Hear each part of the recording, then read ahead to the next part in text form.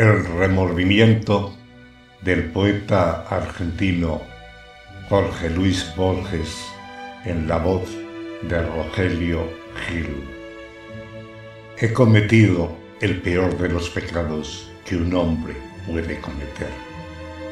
No he sido feliz.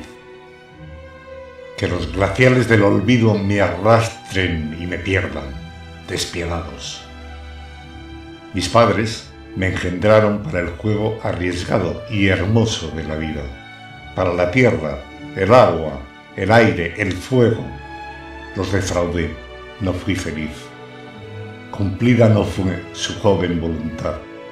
Mi mente se aplicó a las simétricas porfías del arte, que entreteje naderías.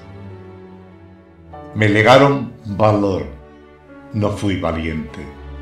No me abandona, siempre está a mi lado, la sombra de haber sido un desdichado.